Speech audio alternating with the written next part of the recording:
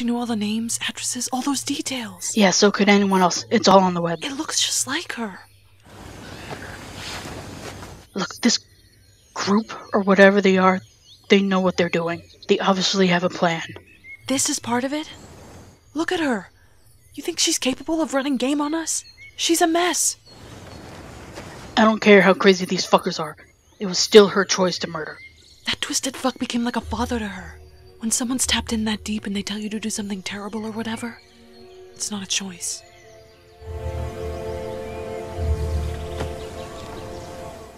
Okay, I'll go get her car. She says it's close.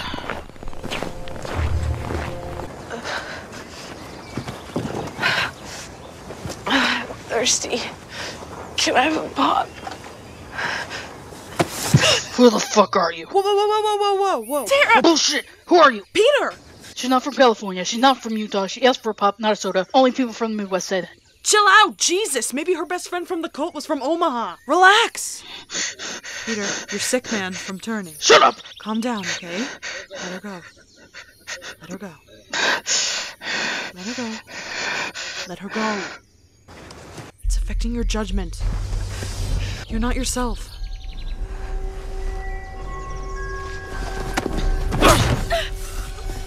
You stabbed her over a fucking soda? She was reaching for something. What was it?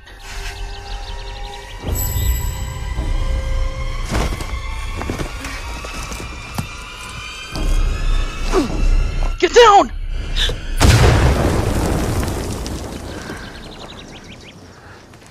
The call. You can't stop us.